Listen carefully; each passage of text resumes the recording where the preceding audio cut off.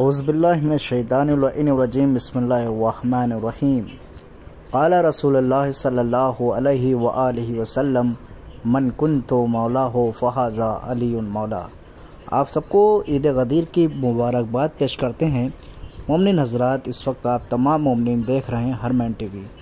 یہ Najaf Ashraf میں عید غدیر کی تیاریاں چل رہی ہیں، جو کہ ہر میں امیر المؤمنین علی ابن ابی طالب علیہ السلام نجف اشرف میں عید غدیر کے موقع کے اوپر ہر میں امیر المومنین علی ابن ابی طالب علیہ السلام کو سجایا جا رہا ہے۔ یہ وہ عید ہے کہ جو صرف و صرف مومنین سے مخصوص ہے، کیونکہ اس عید پہ اللہ کے آخری نبی حضرت محمد مصطفیٰ صلی اللہ علیہ وآلہ وسلم نے اپنے جانشین حضرت علی بن طالب علیہ السلام کو مقرر کیا تھا۔